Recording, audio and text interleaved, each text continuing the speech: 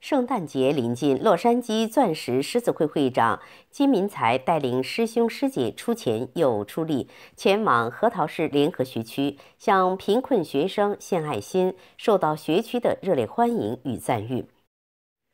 十一月二十九日，洛杉矶钻石狮子会会长金明才、名誉会长苏王秀兰、前任会长邱灵儿、第二副会长梁敏芬、稽查长刘德军。活动总召集人塞若廖、副召集人大军、新会员黄安琪等，带着拼图、圣诞礼品袋、抽纸、湿巾等六百多份物资，来到学区慰问核桃学区旗下十五所学校的贫困学生。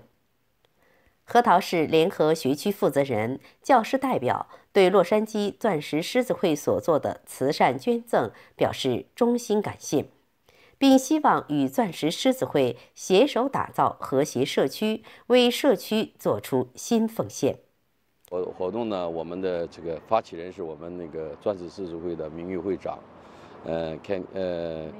麦丽树呢，就麦麦丽树的这个引导之下呢，我们做了这个动作，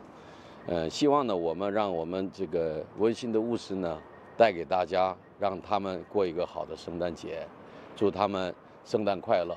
也祝愿我们钻石的爱心，呃，奉献给他们。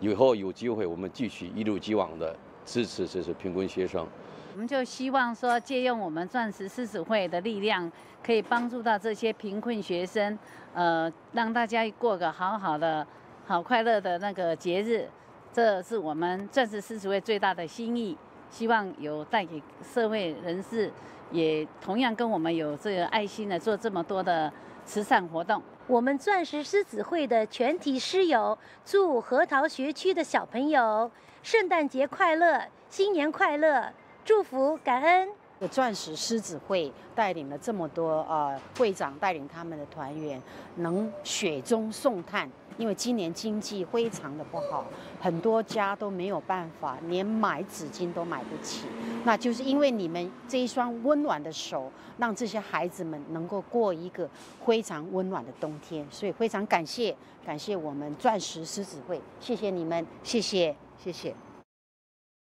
华夏电台记者核桃市采访报道。